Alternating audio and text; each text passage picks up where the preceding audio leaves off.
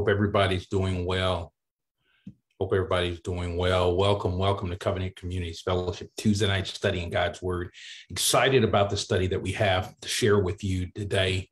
I think it's going to be pretty powerful. Um, it's dealing with temptation in our lives, and and all of us have to deal with temptation.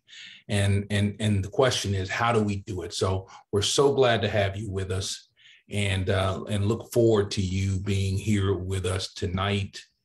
And again, uh, welcome to Covenant Community Fellowship. We're kingdom focused ministry where family comes first. We believe that God's word can transform your life. Not in the re- not the religious stuff that we talk about so often, but I'm talking about the truth of God's word. And when we apply it in our in our lives, it gives us a competitive edge in the world. And many of us uh, have not enjoyed uh, the competitive edge that comes from being a Christian because we no one's ever really told us. No one's ever really told us that that following Christ gives you a competitive edge. Brother Pierre, so glad to see you, man. God bless you. Hope things are well there in T Town, man. Uh, always good to see you. We look for you, man, and and um, look for you on the broadcast and we pray for you. And I and I, I know be sure to tell everyone you said hello. And so we always do that.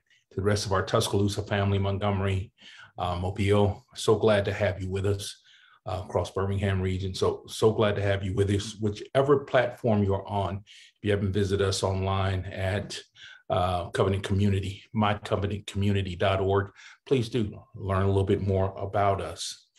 And so again, we are so glad to have you here and to have you here with us. And so we're giving some a couple of others a little bit more time to come on board. So glad that you are with us.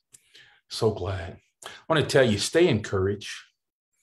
Don't let the enemy disarm your courage and say, just throw up your hands and say, I'm going to quit. I am tired. I've standed it till I can't stand it no more. Oh no, you cannot give up, but you must continue to stand strong. Why? Because someone's destiny is tied to your assignment. You can't afford to get off course. Too many people are depending on you. Lady T, good evening. Good evening. Uh, so, um, as always, my mainstay right there, always with me. Uh, so glad to have you with me and on this journey. It's a it's a powerful journey. Thank God for it, and uh, thank God to be sharing it with you. Again, stay encouraged. Don't let the enemy disarm your courage. If God is on your side, you have a destiny to win when you follow God's path. And so tonight we're talking about temptation, dealing with temptation. And it's so important because you knowing how to deal with temptation is really you learning how to deal with the obstacles that come up. And temptation, remember this temptation always seeks to lead you away from the will of God. Man, I tell you what, once you get that, once you get that, that temptation all, all only seeks and always seeks to move you beyond the will of God. Once you know that, Oh my goodness. It is game on. The enemy desires that you would be discouraged, that you would quit, that that you would just say, look, it's not worth it. I'm giving up. But I want to encourage you today, stand strong anyway. When it when it seems that you're by yourself, trust God anyway. When you seem that when it seems that doing good really doesn't matter, I want to encourage you again, don't give up. Don't give up on God because God will not give up on you. God says that He is a rewarder to those that diligently seek Him. And if you haven't w- received the promise of God in your life yet, it's like taking a trip to New York. It simply means that you're not there yet. Keep going on. Keep going on through South Carolina and North Carolina. Keep going through Virginia if you will keep going and not grow weary and not faint, if you will do that, then in due season you will reap what God has planned for you. In Psalm 27, we all know what David went through. And David said this I would have lost hope had I not believed that I would know the goodness of the Lord in the land of the living. Wow. Now that's a testimony. Had I not believed that I would know the goodness of the Lord in the land of the living, you got to keep holding on. You can't quit now. You come too far to turn back now. This is not the time to turn back. This is the time to press forward. So I encourage you, I challenge you, press forward. Press forward. Don't quit today. Don't quit tomorrow. Don't give up tonight. Joy is coming in the morning. Your morning is coming. All right, let's get into the Bible study, dealing with temptation. Again, I want to talk to you a little bit about what temptation is. Usually, when we talk about temptation, the first thing we think about is uh, sexuality. Well, it's not only that, but temptation always seeks to lead you out of the way and out of the will of God. Sometimes we're tempted to say, God, I'm giving you this situation. And, and then an hour later, we're taking it back from God, right? Temptation always seeks to take you out of the will of God. So we're going to start. Temptation comes when your mind is being tested and doubted, right? There's a warring or a pulling for you to take on this persona or take on this persona. Do I do it God's way or do I do it the world's way?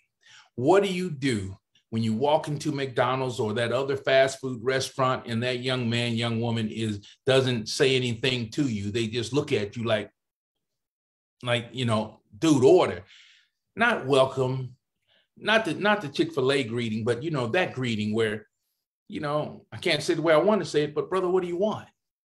Right? You are challenged in that moment to respond in the flesh or to respond in the spirit.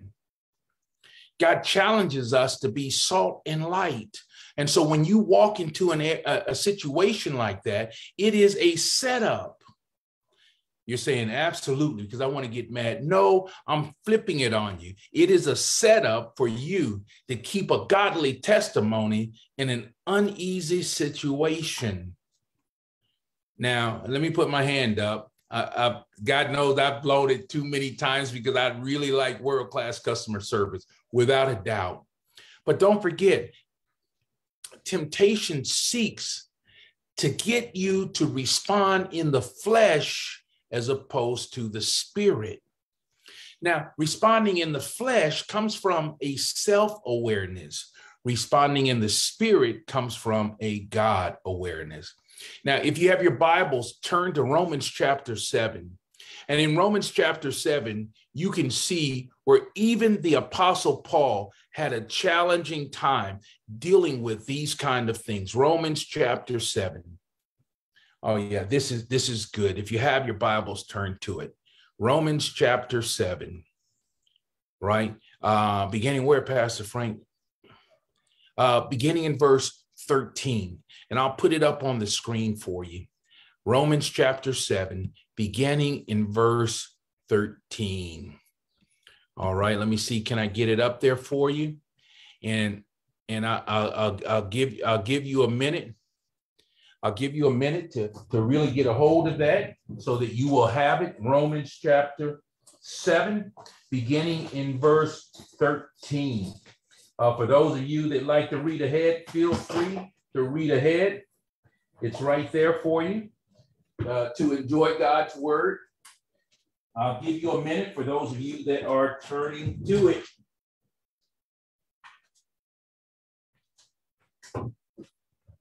Now, the, the, great apostle Paul, who wrote two thirds of the New Testament, he talks about this challenge that he has inside to, to always maintain and sustain a godly testimony right? And he and he's saying he's letting you know look i struggle with this sometimes.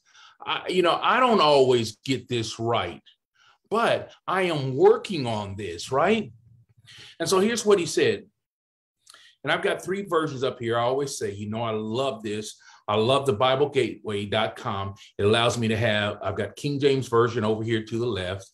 And then I've got my favorite ESV. And then I have to the far right, a contemporary English version. And this is what he says Am I saying something good caused my death? Certainly not. It was sin that killed me by using something good. All right. And this is Apostle Paul talking about good and evil. But here's where I want to get to. Uh, let me see. I'll, I'll keep going in CEV. Verse 14 We know that the law is spiritual, but I am merely a human, and I have been sold as a slave to sin. In fact, I don't understand why I, I act the way that I do sometimes. I don't do what I know is right, and I do the things I hate. And although I don't do what I know is right, I agree that the law is good. So I am not the one doing these evil things, but it's the sin that lives in me that does them. I'm going to read it over here. I'm going to read it over here in the middle ESV. And in ESV, you have Paul, right? And what Paul and Paul, what Paul is saying in the ESV, he's saying, look, if it had not been for the word of God, I wouldn't have known what sin was. I'll be in verse 11 in ESV. For sin, seizing an opportunity through the commandment, deceived me, and through it, it killed me. So the law is holy, and the commandment is holy and righteous and good. So God's commandments are holy, righteous, and good. But there's another thing that's working on the inside of me, and that's my flesh. Did that which is good then bring death to me? By no means. It was sin producing death in me through what is good, in order that sin might be shown to be sin. In other words, he's saying, and, he's it's a play, it's a play on words. He and and and I, and I want to talk to you right here because it seemed that before I knew what sin was, before I had read scripture, I was doing pretty good.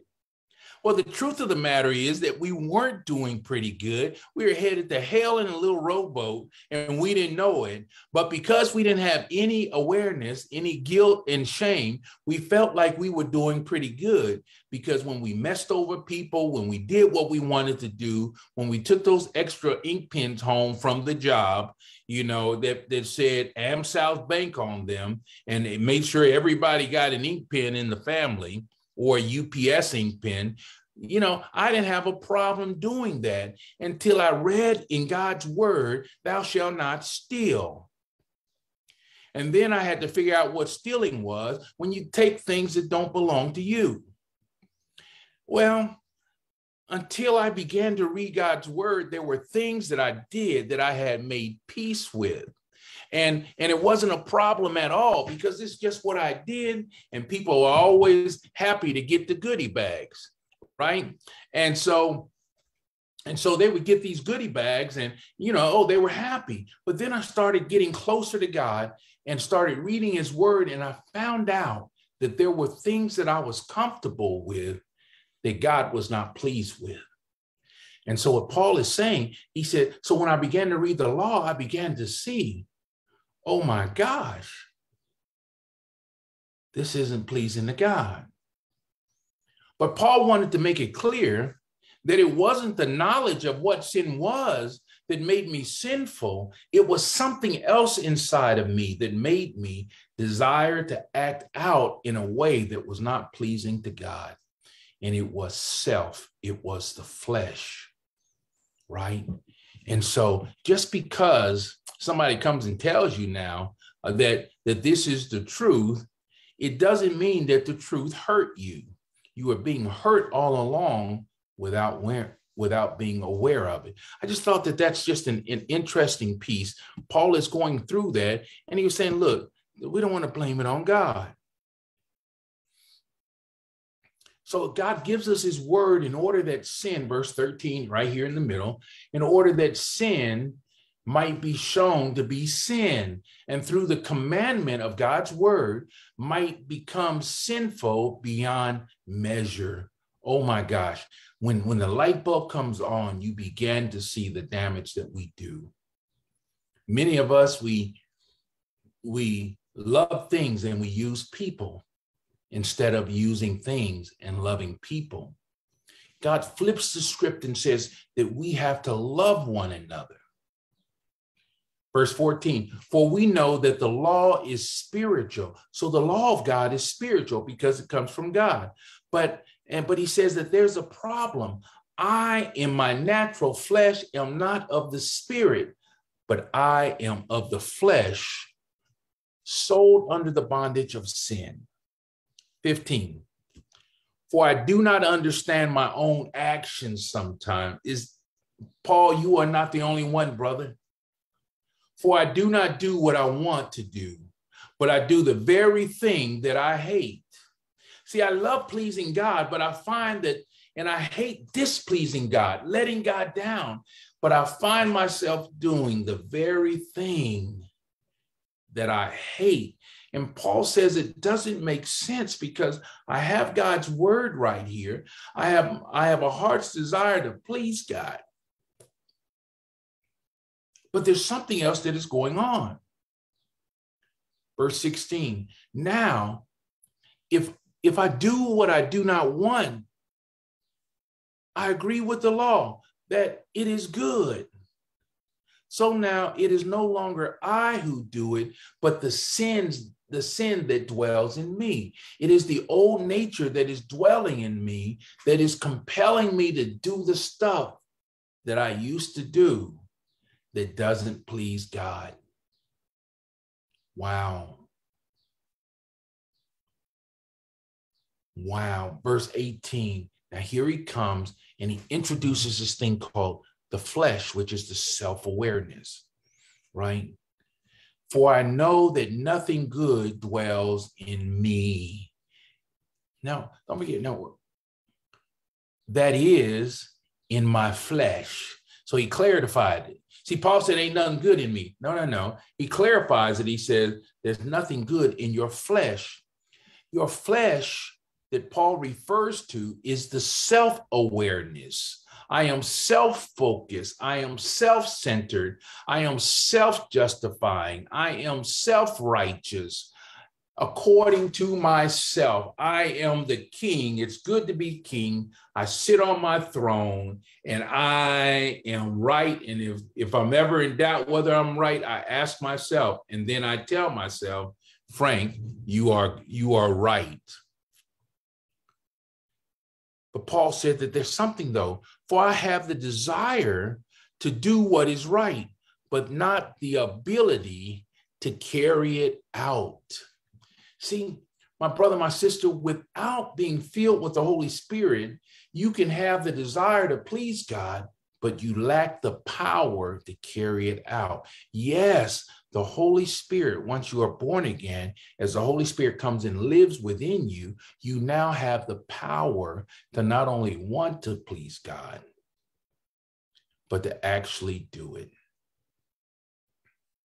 Verse 19. So Paul is identifying, you know, it's like when we find out something's wrong and we know it's not right and and and and we're not we're not becoming the people that we want to be and we're doing things that are opposite, then we go into self-loathing Paul is sorting through all of these feelings. How can I be? I know that Christ died for me. I know that he loves me. I know that the Father loves me, but yet I would do something that displeases him. Verse 19 For I do not do the good that I want to do, but the evil I do not want is what I keep on doing. Now, if I do what I do not want, it is no longer I who does it. It's not my will, but the sin that dwells within me. You have to understand what he's talking about is that when we have sin in us, when it has not been displaced, that sin could be paradigms. And let, let me let me say that sin that compels us might be us believing something that is not necessarily true. When we build our life on the foundation of a lie, if you put a lie on the bottom, then everything that you build on top of the lie will be false. If you have a negative number on the bottom and you multiply 20 positive numbers after that, you know, a negative one times a positive 200 times a positive a million times a positive gazillion, it's going to be negative because the foundation was already wrong. And so a lot of times we have these, these warrings within ourselves because what happens is somewhere we believed a lie. Somewhere we gave ourselves permission to do something that God said is not right. That if I get mad enough, I can cuss somebody out. If I get mad, mad enough, I can I can I can just take, I can take what I believe I deserve if I get mad enough. The Apostle Paul saying, So look, I know that I've got a new mind, a new heart, and I now desire to please God. But I've got some stinking thinking that makes me think that what I'm doing is all right and it's not. I think that I can have Susie and still be faithful to my wife and still be a faithful man. I, yes, I got Susie on the side, and Susie's not my wife. My wife is over here, but I'm still a faithful man. And this had nothing to do with me being faith, a faithful man, but it does. See, when we create these double standards within our mind and accept them as truth, then we are using dece- deception and error as the foundation. And Paul is beginning to say, wait a minute. The flesh that is in me is rooted and comes forth in error. I cannot believe my the flesh but I must be led by the Spirit of God. Let's keep reading because I'm, I'm going somewhere with this and I want you to see it.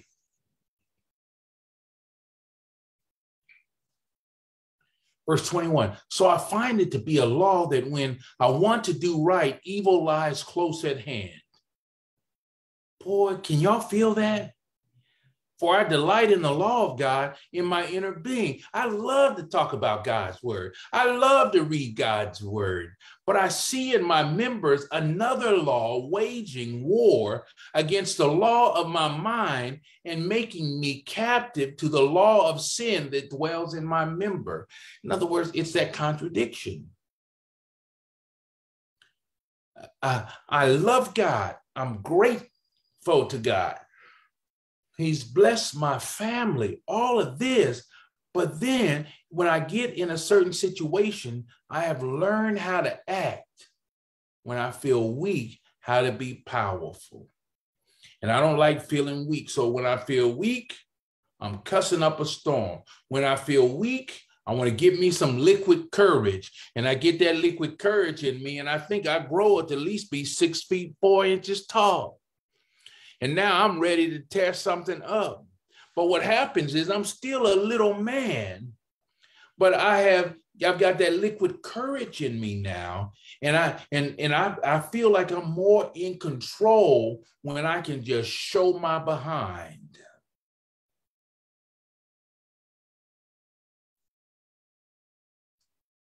Paul says, This is crazy. Verse 24 Oh, wretched man that I am, who will deliver me from this body of death? This thing that is in me that is fighting when I get mad, when I don't trust somebody, they're trying to hurt me. All those whispers in my ear. And then the Apostle Paul says in verse 25, Thanks be to God through Jesus Christ our Lord.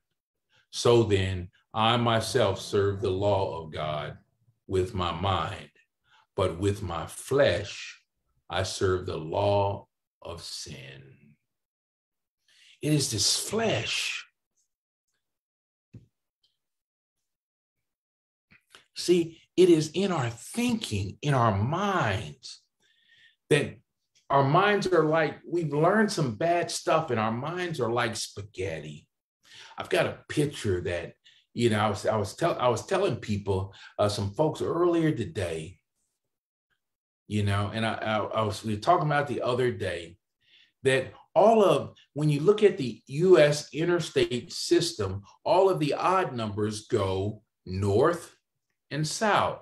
So 65 north, 65 south, 75 north, 75 south, I 95 north, I 95 south. All of the odd numbers going across the entire country go north and south. And all of the even numbers go east and west. I 20 east, I 20 west, I 40 east, I 40 west. And so that's the way the interstate system is. And then remember, I told you, because I love trivia, so I get to say it again. Uh, and, and maybe it's new to maybe one or two people, and they say ooh ah. And so when you are when you are on I-65 right here in Birmingham, it means that 35% of the country is east and 65% of the country is west. If you are on I-75 over there in Atlanta and Chattanooga, then it means that 25% of the country is to the east and 75 is to the west. Same thing with the even going across I 10 down by the coast, I 20 right up here in Alabama, I 40 up in, in Tennessee. I 20 means that 20% of the country is south and 80% is north. I 40 means that 40% of the country is south and 60% is north. So it matters where you are. If you say, for instance, if God says that the kingdom of God is north, then I one, I know that I need to be on an odd number interstate because odd number interstates go north and south. And if I'm on an odd number interstate, I don't need to be going south. I need to be going north because that is the way to God. Once you find out through God's word that the way to God is, let's say, for lack of a better word, for teaching purposes, is north, then you never want to drive on the even number interstates, I 20, I 40. Why? Because they always lead away from God. See, the, the, the, the, the odd number interstates 65, 75, 85, 95, I 95, I 85, I, all of those go north and south. And so if you are one of the things I know that in order to go north, I've got to be on an odd number and I got to be going north and not south. And if I go that way, I will be heading towards the direction God wants me to go. But the even number interstates are themselves defined by their direction. And if I'm trying to go north, I never want to take an even number interstate because they are designed to lead me away from north and take me east and south. I can never go closer to God by traveling in the wrong way. Let me, let, me see if I can pull this up for you. I want I want you to see this right here because I think I think it's a I think it's a pretty good um, this it's a pretty good description, and and so and so I really I really want you to see this right. So so as you're looking at as you're looking at north and south, right? So if God says that the kingdom of God is north, hmm. But I could go east and west and south too. Or I can go northeast, right there in the middle between north and east, straddling the fence, or I can go northwest. But God says the kingdom is north. Then I know that if I want to be closer to God, I've got to go this direction, north. However, you know, I do see something that says shortcut this way. But the problem with the shortcut is that it's going east and God is north. See, there are some things that lead us away from God. And, and if we want to be closer to God, I want you to know that we have to go in the direction that leads to God, on the road that leads to God. So somebody said, well, what if we go, you see this line right here, what if we go northeast, northwest or northeast? See, did you hear the north? It's got a little bit of God in it, but I can still get some of my west in or some of my east in. That that is why different religious systems and belief systems and all of that are very comfortable to some people because they don't challenge you to go north. They, they tell you that if you go northwest then you will be able to keep a little bit of what you like in here and also have a little bit of God. See, I got a little north over here. I got a little God on this side and a little west on this side. Right. And so it's kind of like straddling the fence. And if you look closely, northwest, the destination, it, it appears to be new, moving northward, but it never arrives because it's going west too. See, we have to understand at the moment we began to go a different direction than what God said, we are now moving away from God. We are saying, God, your way is not the way. The problem is, is that sometimes we believe, sometimes we believe that we, we believe that we can go away from God and still have God. When when we I want you to see this, when we when we say okay, I'm going to go west or or I'm going to go north, then what I mean, excuse me, east, then right away we are moving away from God because God is north. So when temptation comes, what do you think temptation is going to do? Temptation will always lead you away from God. Hmm. I want you to hear this. Temptation will always challenge you to take a pathway that does not lead to God. And, and when that happens, then you find yourself lonely, empty. You find yourself in a very dark place because the light of God is only with God. It only comes from God. And so you don't go away from God to find God. So when temptation comes, it always wants to lead you away from God. Oh, this is so important. So it's so important that you understand something that when you are tempted, you are never tempted of God because temptation's goal is to lead you away from God, right? Temptation's job or goal is to lead you away from God.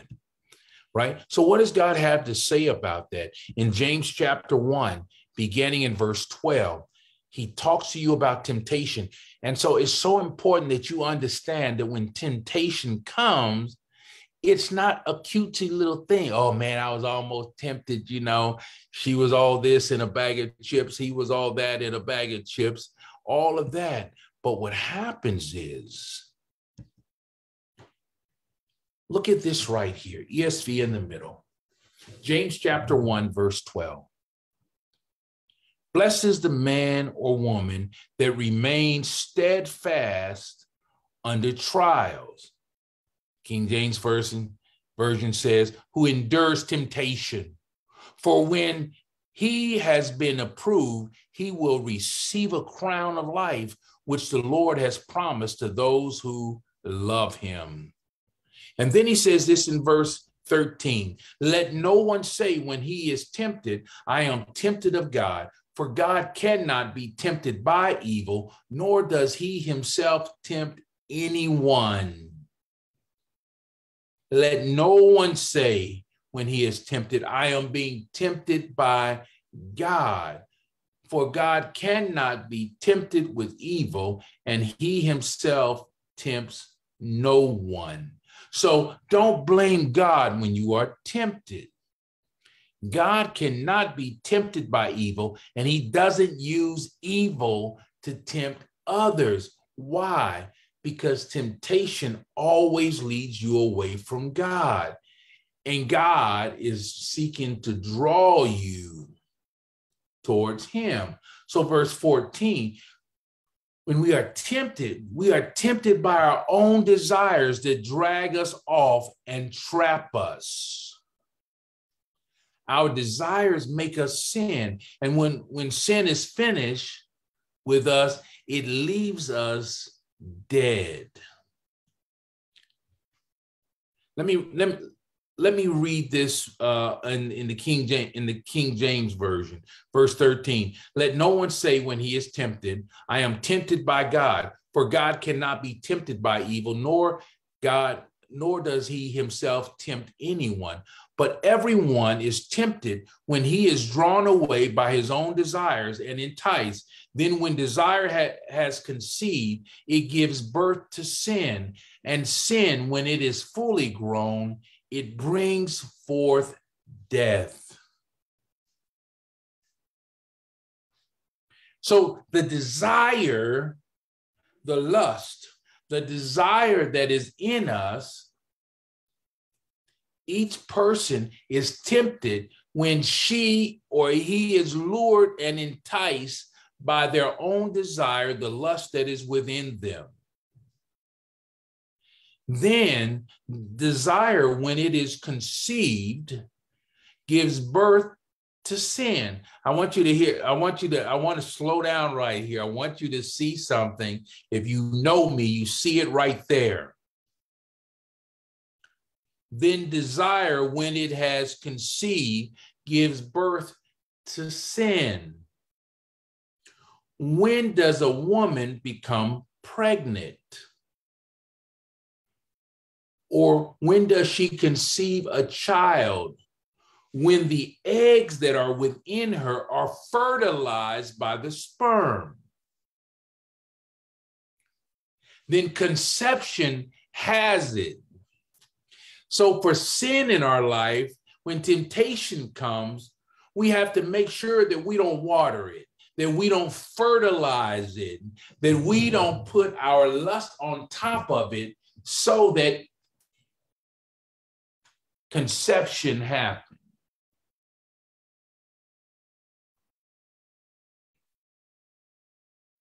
When your desire has conceived, by being fertilized by your lust, conception happens. It gives birth to sin.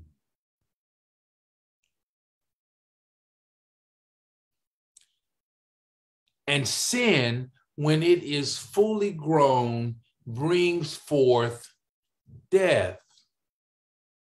Oh my goodness. There's an old saying you sow a thought, you sow a thought, you plant a, a thought,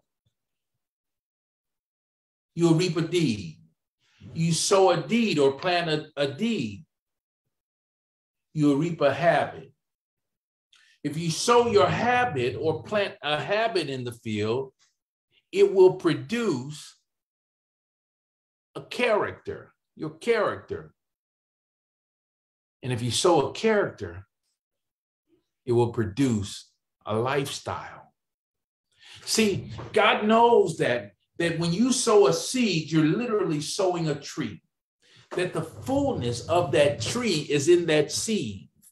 Inside of that seed is an embryo that is that is uh, what is the word? That is lying dormant in filled with protein right?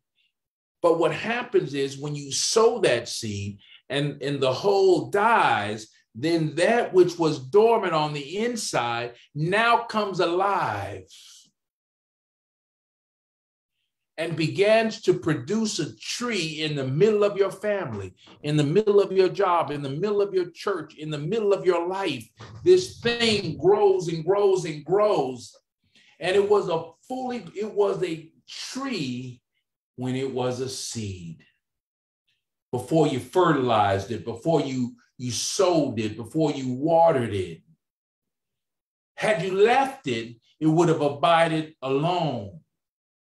But when you plant the seed of your of temptation within your life, it will bear much fruit. All of a sudden, it comes like the hydra. And so the apostle Paul, when he, excuse me, and in James, so when he looks at this, he says, then desire, verse 15, when it has conceived, gives birth to sin. And sin, when it is fully grown, it brings forth death.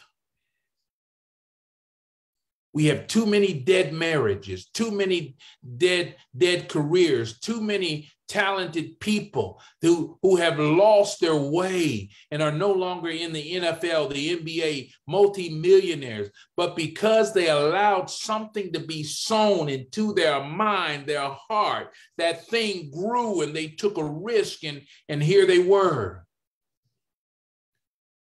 I was watching something from uh, Shaquille O'Neal, and he talked about it.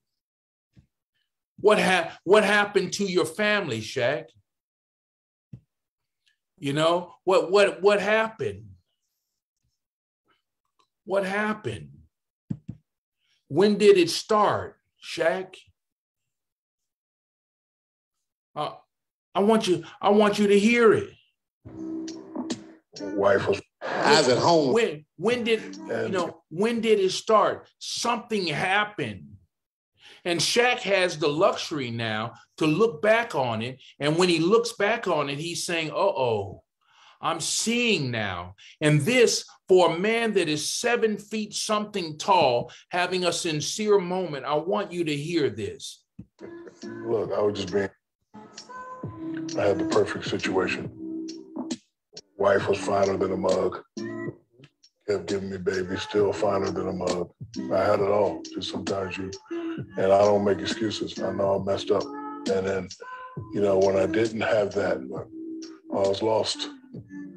76,000 square foot house by yourself. Lost. No kids. Go to the gym. Nobody playing in the gym. You go to their room. Nobody's there. You you you start to feel it. Look, sin, when fully conceived, it brings forth the death of families, the death of marriages, the death of careers, the death, the death of a name, the death of a church, the death of, of the character of, an, of a person that is well known when fully conceived. The tree becomes too big to manage, but when it was a seed, when it was temptation, that was the time to deal with it. So when they said we need to nip that in the bud, they were saying we need to we need to nip this rose bush right now in the bud before it becomes a full-grown bloom.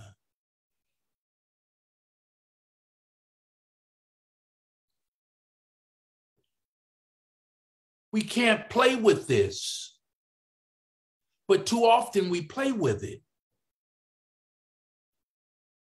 And when we play with it, it grows on us and it grows on us and it grows on it. You sow a thought, you reap a deed. You sow a deed, you reap a habit. I keep doing it. Uh, it's a habit now. And if you sow the habit, it creates your character. It means to be deeply engraved within you. You sow a character, you reap a lifestyle.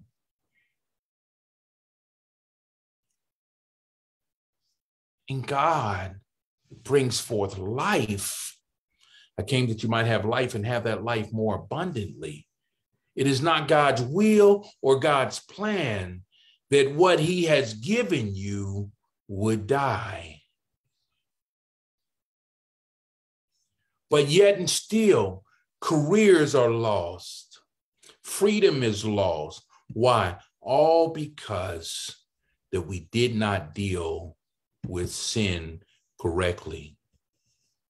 Verse 16, he says this Do not be deceived, my beloved brothers and sisters. Every good gift and every perfect gift is from above, coming down from the Father of lights, with whom there is no variation of shadow due to change. Of his own will he will he will he brought us has he brought us forth by the word of truth that we should be a kind of first fruits of his creatures? Listen to what he's saying.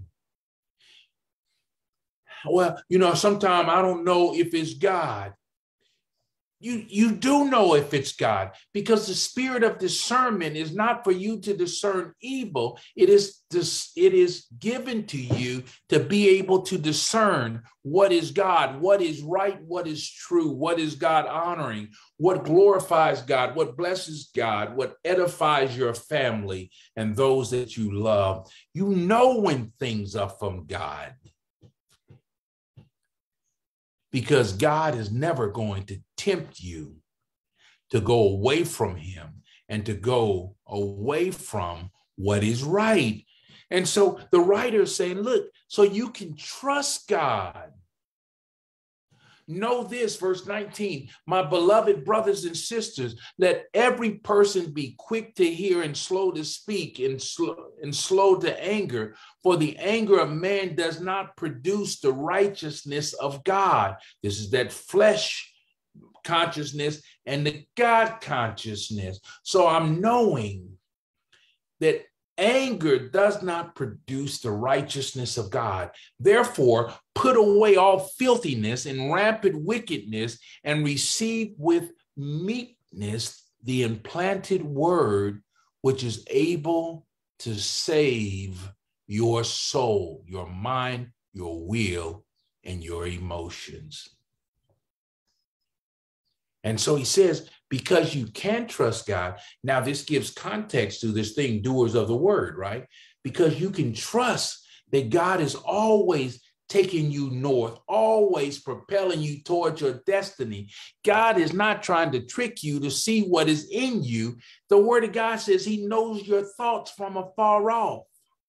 The very hairs on your head are numbered. God knows you. Before you were in your mother's womb, I knew you.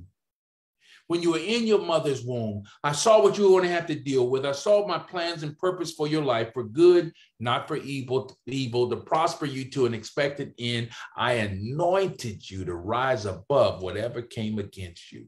It will come against you, but it would not kill you. It will come against you, but it would not take you out it would come against you. It would be like the Weeble, the little, the little blow-up doll with the sand and you hit it and it comes back. The Weeble wobbles, but it, it doesn't fall down.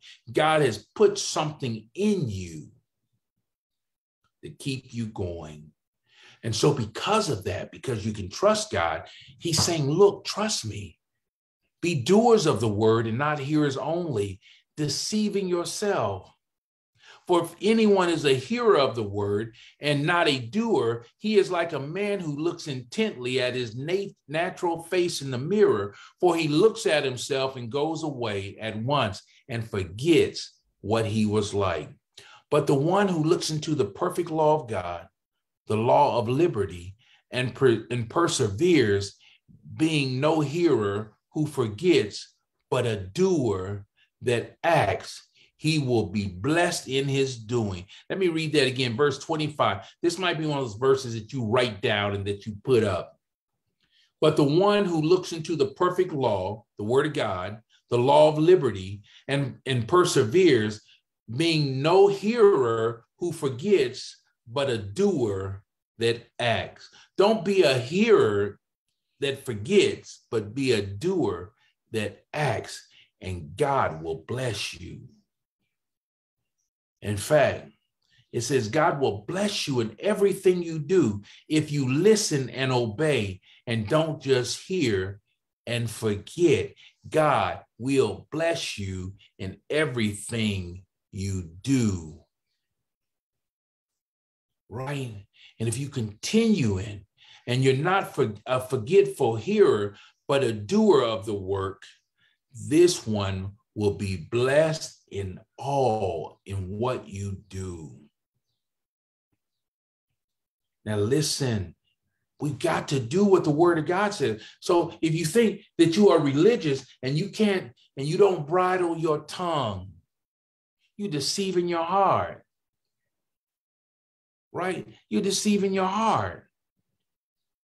If if you think that you are a, a, a God follower, but you're not doing his word, right? You're being religious. You know, you got a half foot on God stuff. You going northwest, northeast, and a half foot on your stuff.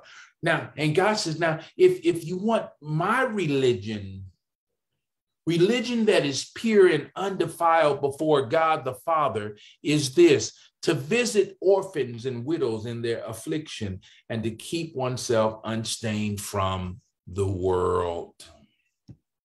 Look, I love this I love this because remember, in dealing with temptation, and I want you, I want you to hear this. When dealing with temptation, people know that the best version of you is that version that is that is that is going after God. That is the best version of you, the one that is pursuing God. Let me see if I can get to it. There it is. That is the best version of you. Now, I want you to hear this that when someone comes to you trying to get you, then said, You are so handsome, you are so fine, you are so cute, you are so beautiful. Oh, I love the way you worship God and how you raise your family. Let come with me and pour your flesh out on my flesh. I respect you so much. Come west with me. Come east with me. In fact, come south with me. I love you so much that I'm willing to kill that which is good in you. Wow. If everything that is good in me comes from God, then a person who finds you so attractive and so irresistible that they are willing to lead you west, south, and east away from God is not doing you a favor. How can they say they love you and care about you, but they're willing to kill the very thing that they say that they are impressed with, that they value? They're willing to kill it. See, we have to begin to hear things like God hears them. When people come, you know you're a better man, a better husband, a better father, a better son, a better friend, the closer you are to God going north. You know you're a better wife, a better daughter, a better mother, a better sister, and a better friend as you're moving closer to God. But here these people they look at you and they say i love you so much. I care about you so much. I miss you so much. Go come west with me. Come east with me. Come south with me taking you away from the very god that made you everything that you are. That is not a compliment. That is not a blessing. That is a deception. You've been hoodwinked bamboozled, led astray. Because God will only call you to Him. He will only bid you to come. He says, Come unto me, all ye that are burdened and heavy laden, and I will give you rest. Take my yoke upon you for my yoke is easy and my burden is light. God doesn't tell you don't go 359 degrees other all right he just tells you to go one direction north towards him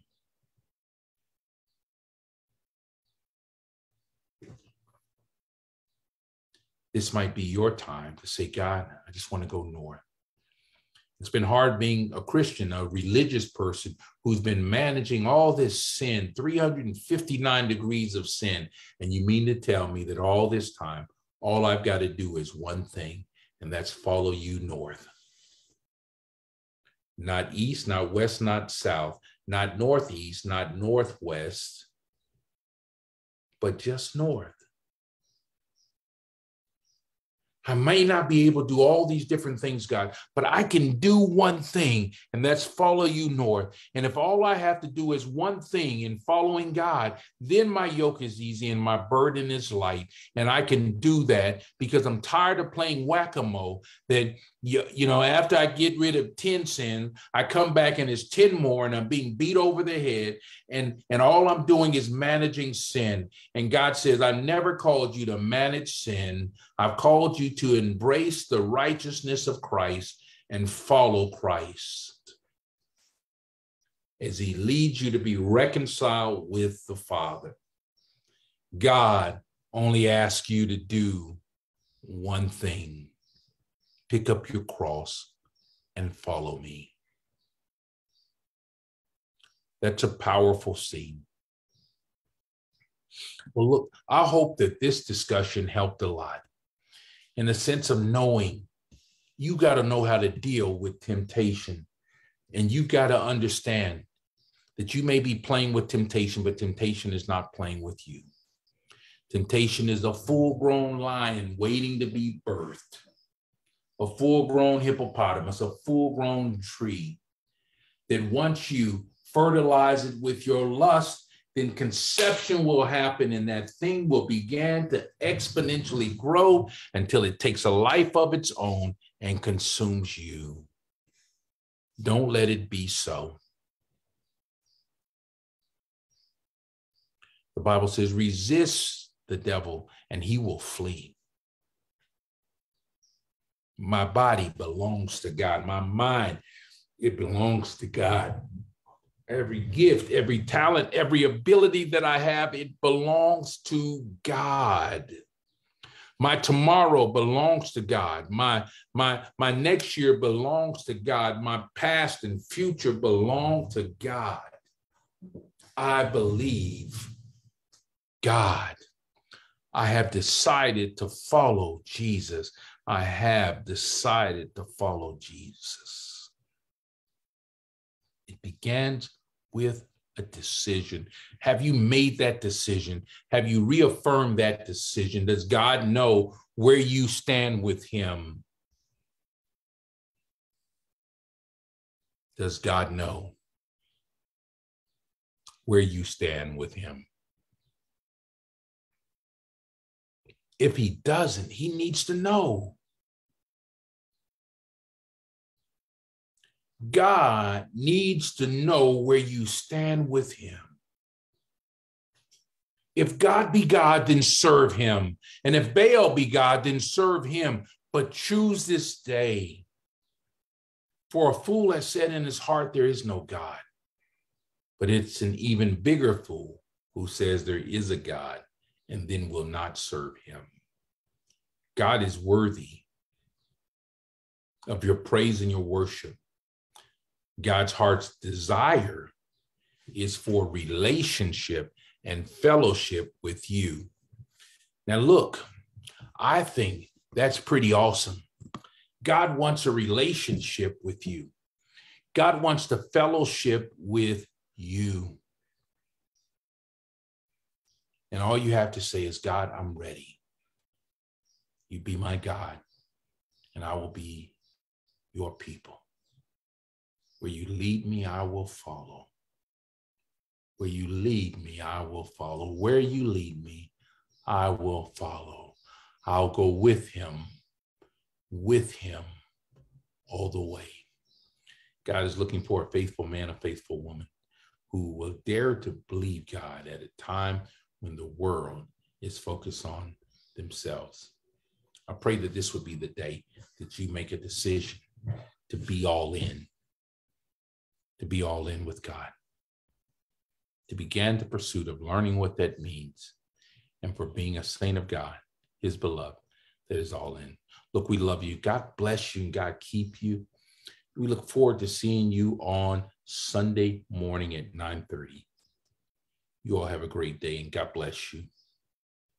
Remember, yield not till temptation, to temptation. Yield not. Don't play with it.